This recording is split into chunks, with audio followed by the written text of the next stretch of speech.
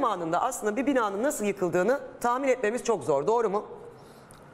Doğru çünkü onun mühendislik özelliklerini bilmiyoruz. Ee, bir bina varsa pasağlamdır. Yanındaki bina yerle bir olmuş, tuz buz olmuş.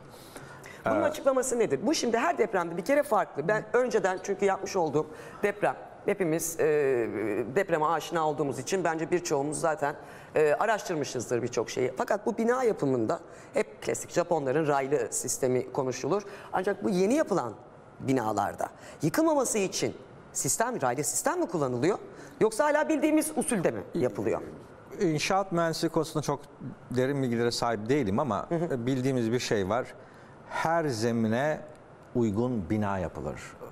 Tabii önce zemin ölçülür. Ona Tabii göre, e, zemin e, zemin bilgisinin özelliklerinin çok iyi araştırılıp ona uygun bina yapılması gerekiyor. Nasıl bir zemin mevcut bu Şimdi 10 bir kere ilimizde? bir kere bakıyoruz Adana'da, İskenderun'da, Malatya'da bunlar aslında oldukça Şanlıurfa'da yani kaç yüz kilometre uzak yerlerde binalar çöküyor. Bunların en büyük nedeni e, zeminin e, zemine uygun binaların yapılmaması ve bu zeminlerin çok büyük bir bölümünün bizim e, alüvyon dediğimiz e, bir akarsu sedimanları tutturulmamış e, yeraltı seviyesinin yakın olduğu yerlerdeki zayıf Daha şeyler. yumuşak diyebilir miyiz? Yumuşak, evet yumuşak zeminler. Çünkü depremde Yani- her zaman evet, için hani mesela kayalık e, kaya üzerinde olduğunda daha sağlam evet, olduğu havzalar, söylenir. yani Adana büyük işte iş- Adana bütün bu e, şey Vadi Karasu Vadisi boyunca e, işte e, orada Kırıkan var, e, değil mi? İslahiye var, e, Hassa var. E, bunların büyük bir bölümü Adana dahil yumuşak zemin üzerinde. Şimdi bu yumuşak zemindeki binaların nasıl yapılması gerekilir peki normal şartlarda aslına bakarsanız? Mesela tabii ki mühendislikte siz az önce söylediniz çok fazla vakıf değilim dediniz ama Evet. e, bir ölçüm yapılıyor sanırım ve ona göre Bildiğim kadarıyla genelde radyal temel denen bir temel sistemi var.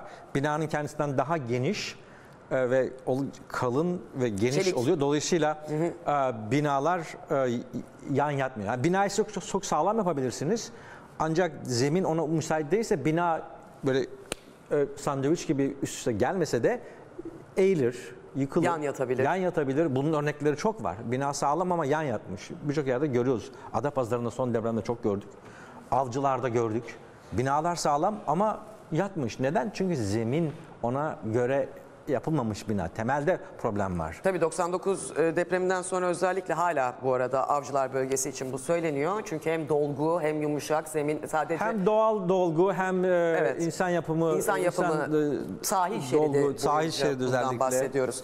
Ee, tabii bu bu kadar yükseklikteki depremde e, şu da yine merak edilen konulardan bir tanesiydi. Acaba işte e, denizden bir şey gelir mi? Hani sahil kenarında olan illerimizle ilgili. Ancak bunun mümkün olmadığı, e, herhangi bir tehlike olmadığını söyleyebiliriz öyle değil mi? Yok yani denizde bu, burada denizden yani tsunami üretecek onu kastediyorsanız bir e, bu Çünkü o da fayların- çok konuşuldu yine. Evet, bu- Böyle bir tehlike. do- yok. Buradaki fayların e, tsunami üretme şeyi yok. E, potansiyeli olan faylar değil. Evet bu bilgiye de o yüzden kesinlikle inanmıyoruz. Çünkü Yok, devir doğru. ne yazık ki değerli izleyenler tabii ne yazık ki diyoruz bazı durumlarda çok da fazla işe de yarayabiliyor sosyal medya ama aynı zamanda bilgi kirliliğinden dolayı bu tarz e, işte e, kaçın e, herhangi bir e, tsunami olabilir e, sahili terk edin gibi bilgilere de lütfen e, inanmayınız.